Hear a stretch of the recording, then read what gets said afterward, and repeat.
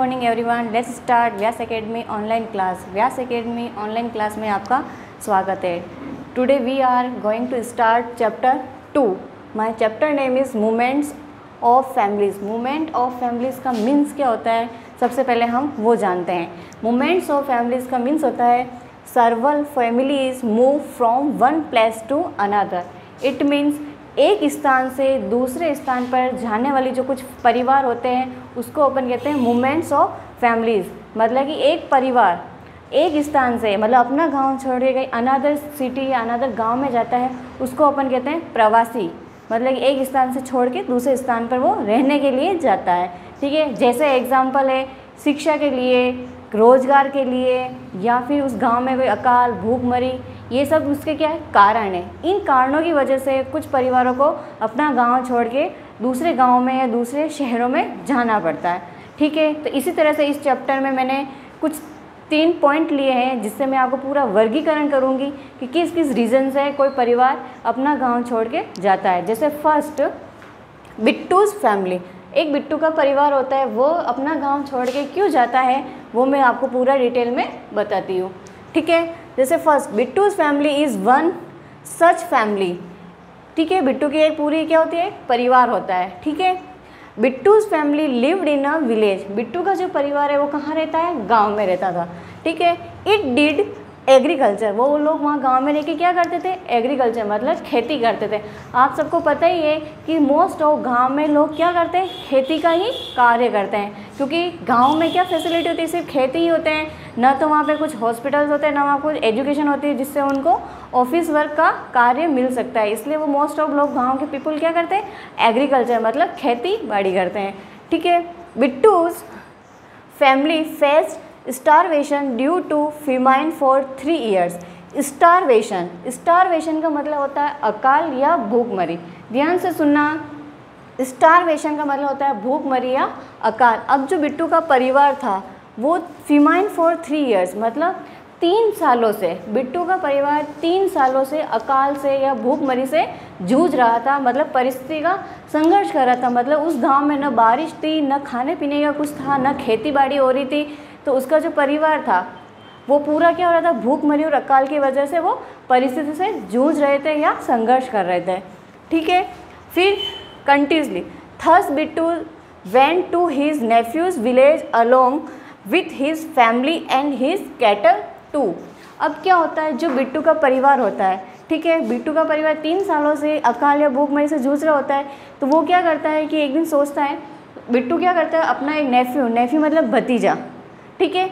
उसका जो भतीजा होता है, वो एक दूसरे गाँव में रह रहा होता है तो बिट्टू का पूरा परिवार उसके भतीजे के गाँव में रहने के लिए जाता है। पूरा बिट्टू का परिवार और बिट्टू के कैटल, विथ कैटल टू मतलब गाँव में आपको पता ही होता है, अक्सर गाँव में पशु पालन भी करते हैं मतलब पशु भी रखते हैं तो वो अपने परिवार को लेके साथ साथ में अपने दो पशुओं को लेके भी कहाँ गया था? अपने भतीजे के गाँव में रहने के लिए। ठीक है?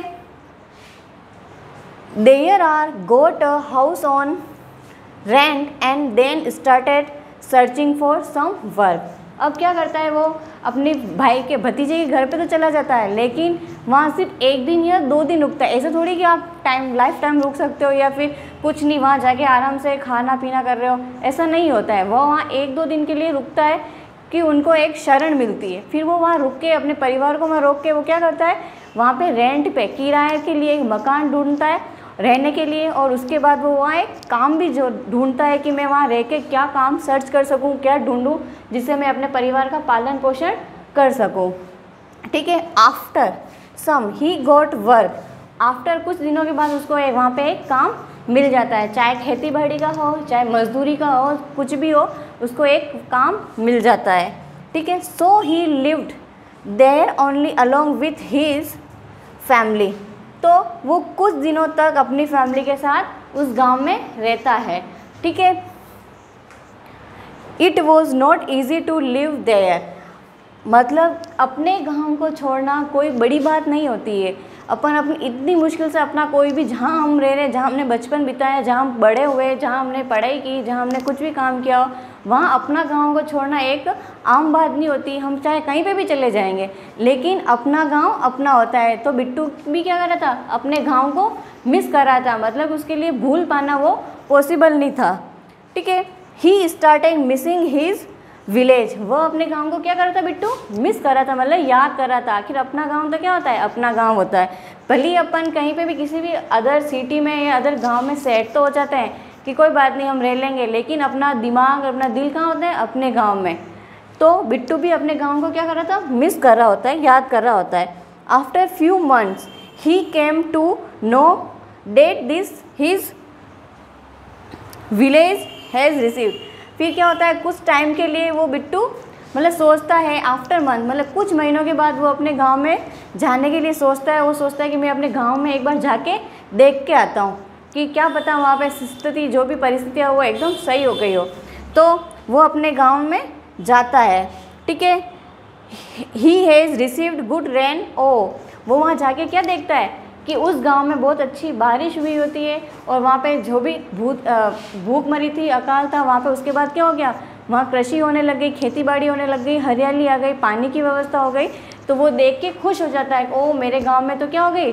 बारिश हो गई। What then he came back to his village with his family and cattle वो ये सारी कंडीशन देखने के बाद क्या करता है? वो अपने गाँव में, अपने परिवार को और अपने पशुओं को लेके वापस उस गाँव में आ जाता है रहने के लिए। तो ये चीज़ क्या हुई? एक स्थान से दूसरे स्थान पर जाना। लेकिन वो क्यों चाहता है? उसकी क्या मजबूरी थी? अकाल और भूख मरी। तो इसी को अपन कहते हैं मूवमेंट्स ऑफ़ फैमिलीज़ ठीक है? तो ये मूवमेंट्स ऑफ़ फैमिलीज़ का फ़र्स्ट एक एग्ज़ाम्पल था। कि उस मतलब बिट्टू की रीज़न की वजह से किसकी रीज़न रीज़न क्या था? स्टारवेशन मतलब अकाल या भूखमरी के कारण उसको अपना गाँव छोड़ना पड़ा और वो दूसरे गाँव में गया। किसके लिए? अपने परिवार का पालन पोषण करने के लिए। थैंक यू मिलते हैं नेक्स्ट वीडियो में.